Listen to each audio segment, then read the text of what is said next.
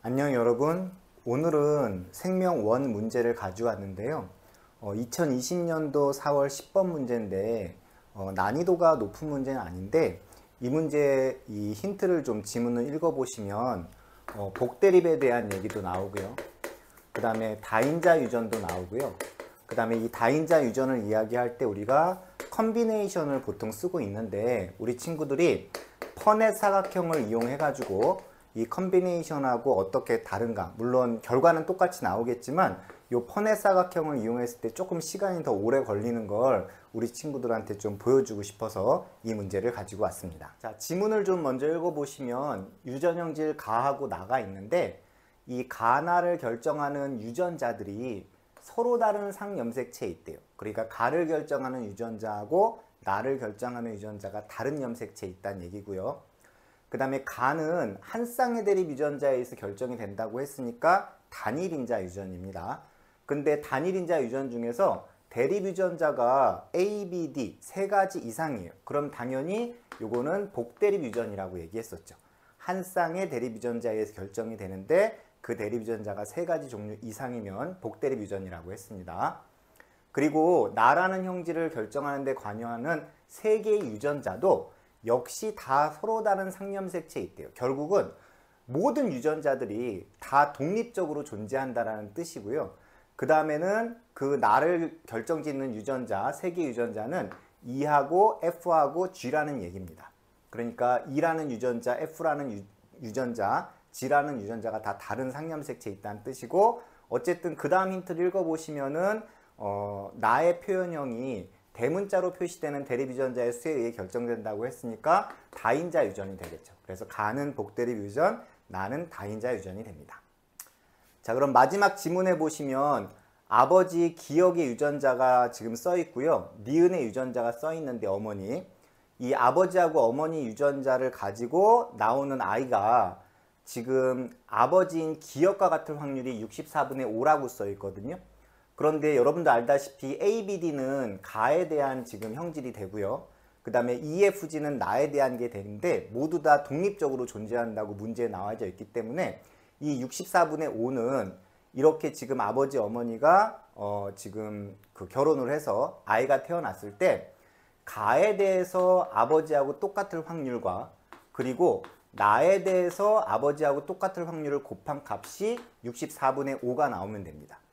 그러면 가에서 아버지와 똑같은 이제 표현형을 나타내야 되는데 우리가 저 A, B로 표현되어 있을 때 누가 우열 관계가 있는 건지 아니면 공동 우성인지를 아직 결정할 수가 없기 때문에 우리는 이 다인자 유전에 해당하는 나에서의 먼저 확률을 구하시고 그리고 곱해서 가가 얼마가 나와야 64분의 5인지를 계산하시면 됩니다.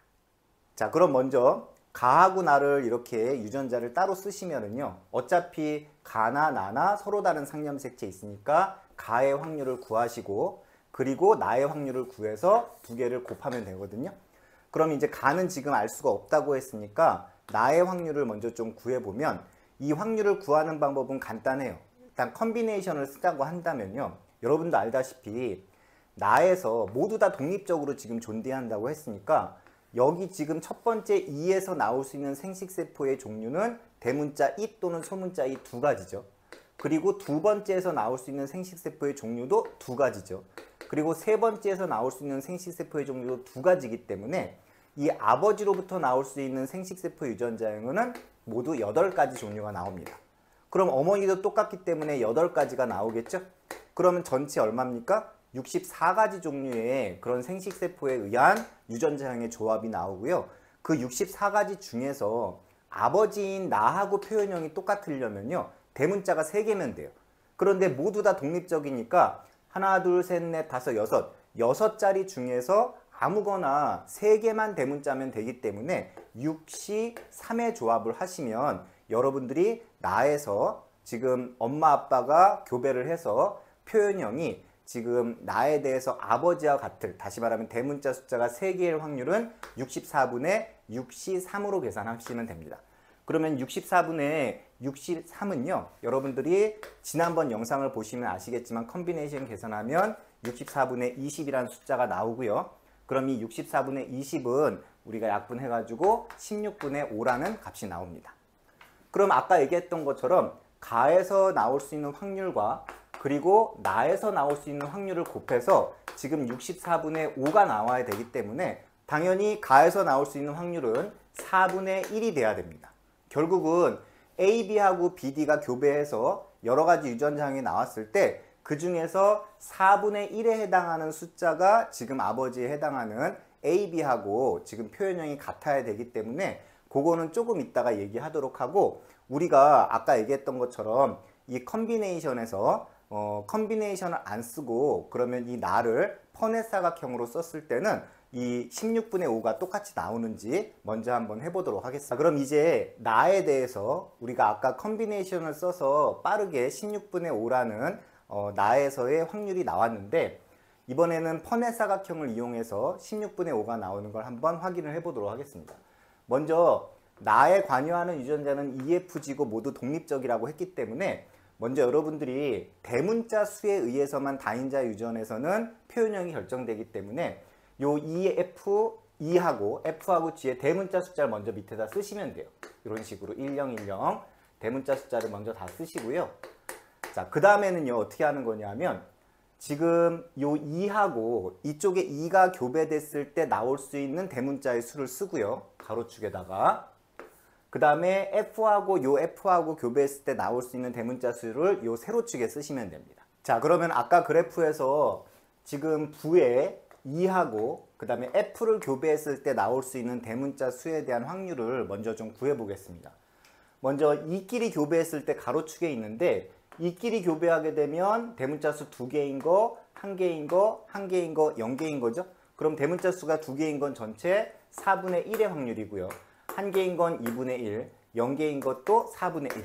똑같은 원리에 의해서 두 개인 거 4분의 1, 2분의 1, 4분의 1의 확률로 나옵니다. 자, 그러면 2하고 F에 의해서 나올 수 있는 대문자 수가 지금 어 0개인 거, 하나인 거, 두 개인 거, 세 개인 거, 네 개인 게 있는데 지금 저 EF에서 0개가 나올 수, 대문자 숫자가 0이 나올 확률은요. 여기 있는 4분의 1과 여기 있는 4분의 1을 곱해서 16분의 1의 확률이 됩니다. 그러면 대문자 수가 한 개가 나올 확률은 4분의 1하고 2분의 1 곱하니까 8분의 1. 여기는 2분의 1, 4분의 1 하면 8분의 1. 대문자 숫자가 두 개가 나올 확률은 4분의 1, 4분의 1이니까 16분의 1. 여기는 2분의 1, 2분의 1이니까 4분의 1. 그리고 여기는 4분의 1, 4분의 1이니까 16분의 1이 되겠죠. 세 개가 나올 확률도 8분의 1 하고요. 그 다음에 여기 세 개면은 똑같이 8분의 1. 그 다음에 네 개가 나올 확률은 16분의 1이 됩니다. 그럼 결국은 어, 대문자 숫자가 0개인 거, 1개인 거, 2개인 거, 3개인 거, 4개인 거가 어, 2하고 F에서 나올 수 있는 대문자 수의 경우의 수에 해당하는데 표현형에 해당하는데 0개인 거는 16분의 1이 맞고요. 그 다음에 대문자 숫자가 1개인 거는 8분의 1하고 8분의 1을 더하시면 돼요. 그럼 8분의 2가 되겠죠? 그러면은 4분의 1이 될 거고요. 1개인 거는. 그 다음에 2개인 거는 16분의 1, 4분의 1, 16분의 1을 더하시면 돼요. 그러면 16분의 1, 16분의 1에다가 16분의 어, 4가 되니까 그러면 16분의 6이 되겠죠. 그 다음에 대문자 숫자가 3개에 해당하는 거는요. 지금 여기는 8분의 1, 8분의 1 더하면 8분의 2니까 4분의 1이 될 거고요. 대문자 숫자가 4개에 해당하는 거는 16분의 1이라고 했습니다. 그래서 아까 다음번 이제 G하고 연결됐을 때 대문자 수 0, 1, 2, 3, 4를 여러분들이 옆에다가 요 확률도 같이 표시해서 쓰고 그리고 다시 확률을 구하시면 됩니다. 같이 한번 보시죠. 자, 이제 아까 했던 EF에 의해서 대문자 숫자가 0개, 1개, 2개, 3개, 4개가 나왔을 때 확률을 옆에다 이렇게 써 넣으시고요. 마지막으로 이제 G에 의해서 나올 수 있는 대문자 수 2개, 1개, 0개 쓰시고 얘도 마찬가지 원리로 하게 되면 2개가 나올 수 있는 경우 4분의 1, 1개인 경우는 2분의 1, 그 다음에 0개인 경우는 4분의 1의 확률이 나오겠죠. 자, 그런데 문제는 뭐였었냐면요. 이 두 부모가 이제 결혼을 해서 자녀를 낳는데 그 자녀가 표현형이 나와 같은 확률이 지금 아까 16분의 5라고 했거든요. 그럼 나와 같은 확률이면은 표현형이 기억은 대문자 숫자가 3개니까 여기서 결과적으로 대문자 숫자가 3개에 해당하는 얘네들만 찾아서 16분의 5가 나오는지를 확인하시면 됩니다. 그러면 여기 있는 얘네들을 확인해 보면 얘가 4분의 1, 4분의 1이니까 16분의 1이 되겠죠. 얘는 16분의 6하고 2분의 1이니까 지금 얼마입니까? 32분의 6이 되겠죠. 그리고 얘는 4분의 1, 4분의 1이니까 16분의 1이 되겠죠. 대문자 숫자가 3개인 거를 찾았을 때 걔네들이 16분의 5가 되면 되는 거니까 지금 첫 번째 대문자 숫자가 3개인 거는 16분의 1의 확률이죠. 또는 대문자 숫자가 3개인 거 32분의 6의 확률 또는 16분의 1의 확률이 되는 거니까 결과적으로는 32로 통분해 버리게 되면은 여러분들 어 10이 되겠죠. 그럼 32분의 10에 해당하는 거는 당연히 16분의 5가 되기 때문에 퍼넷 사각형을 이용을 해도 역시 컨비네이션을 이용하는 것과 똑같은 답이 나옵니다. 자 그러면 어, 다시 문제 앞으로 돌아와서 일단은 두 부모가 이제 결혼을 해서 자녀가 나왔을 때 어, 그 표현형이 아버지와 같을 확률 그러니까 가에 대해서 아버지와 같을 확률 그리고 나에 대해서 아버지와 같을 확률인데 대문자 숫자 3개 컨비네이션을 이용하든 퍼넷 사각형을 이용하든 16분의 5가 나왔었죠. 그 두 개 확률을 곱했을 때 64분의 5라는 숫자가 나와야 되기 때문에 어, 아버지하고 가에 대해서 표현이 같을 확률은 4분의 1이 되고요.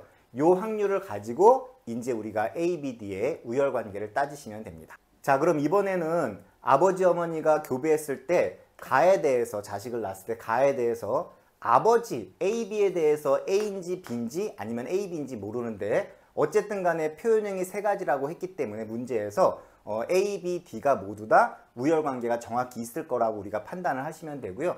그럼 이제 4분의 1이 나올 수 있는 확률만 여러분들이 생각을 해내시면 됩니다. 그럼 아버지 어머니로부터 나올 수 있는 유전자형은 AB, AD, BB, BD가 되고요. 이 중에서 BB로 돼 있으면 무조건 표현형이 B로 나올 건데 만약 AB에서 B가 A보다 우성이라고 한다면 그때는 B로 표현되는 게 벌써 두 개가 되기 때문에 그렇게 되면 여러분들이 이 아버지 AB도 B로 표현되겠죠. 그러면 4분의 1이 아니라 4분의 2가 되니까 4분의 1의 모순이 되고요. 그렇다면 A가 B보다 우성이면 은 일단은 표현형이 다르게 됩니다. 그 다음에 이제 4분의 1이 되려고 한 번 더 확인을 해보면 A하고 D가 있을 때 이 A가 D보다 우성이 돼버리면 그러면 A가 두 번 지금 표현이 돼버리잖아요. 그렇게 되면 역시 4분의 2니까 4분의 1에 모순되기 때문에 A가 D보다 우성일 수는 없고 D가 A보다 우성이 됩니다. 그럼 이세 가지를 조합했을 때 D가 가장 우성이고 그리고 A, 그 다음에 B가 됩니다. 그럼 여러분들 A, B가 있을 때는 이 아버지는 A로 표현이 됐고요. 아버지하고 어머니가 교배에서 나올 수 있는 것 중에서 아버지하고 표현이 같으려면 요거밖에 없겠죠. 얘는 A로 표현될 거고 얘는 D로 표현될 거고 얘는 B로 표현되고 얘는 또 D로 표현되기 때문에 아버지하고 표현이 같을 확률은 전체 4개 중에 하나 4분의 1의 확률이 됩니다. 자, 지금 오늘 여러분들하고 했던 이 문제 자체는 어려운 문제는 아닌데 선생님이 얘기하고 싶었던 핵심은 combination을 이용하든 그 다음에 저게 조금 힘들다고 하면 퍼넷 사각형을 하나하나 그려서 확인하면 되는데 좀 전에 보였던 것, 보여드렸던 것처럼 퍼넷 사각형을 이용했을 때는 시간이 좀 많이 걸립니다. 근데 뭐 연습을 충분히 하면 여러분들이 빠르게 해결할 수도 있지만 어, 아무래도 combination을 이용하는 게 더 효과적이니까 관련 영상 몇 가지 찍어 놓은 거 있으니까 여러분들이 계속 확인해 가지고 연습을 많이 하시면 어, 이런 다인자 유전 문제, 복대립 유전 문제 충분히 해결할 수 있으리라고 생각됩니다. 오늘도 수업 들어주셔서 감사합니다.